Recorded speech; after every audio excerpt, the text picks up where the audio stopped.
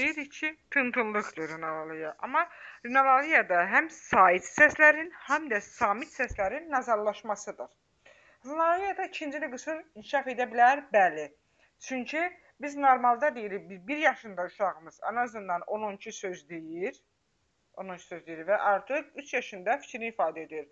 Amma belə deyək, Rinalari uşaqlarda adətən ağır məhdudiyyətlilərdə, yəni ağır məhdudiyyət deyək, qurd ağız, dovşan dodaq, damaq yarıqları bunlar formalaşanda uşaqlarda e, damağın belə deyim də əməliyyatı ağız quruşu əməliyyatı uzun müddət çəkə bilər. Bəzən 6 aya qədər gecikdiririk, bəzən 2 həftəlikdən 6 ay arasında olur bu əməliyyat və sağalması, e, damaqda olan çapığın tam aradan qalxması müşahidə olunduqca nit ləngiyir. Bu zaman ona görə deyirik ki, ikincili qüsur yaranır.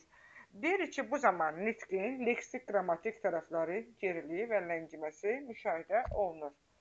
Rinalariya necə aradan qaldırır əzizlərim? Kimlər tərəfindən aradan qaldırır? Tək loqopedmi tərəfindən? Xeyr. Rinalariya aradan qaldırmasında cərrah, stomatoloq, cərrah, otolaringoloq, psixoloq, loqoped və ailə Yenidən xatırladıram. Cərrah, stomatoloq, otolaringoloq, psixoloq və loqoped, bir də ailə. Niyə görə ailəni? Çünki ailə bizimlə bərabər işlədiyinə görədir.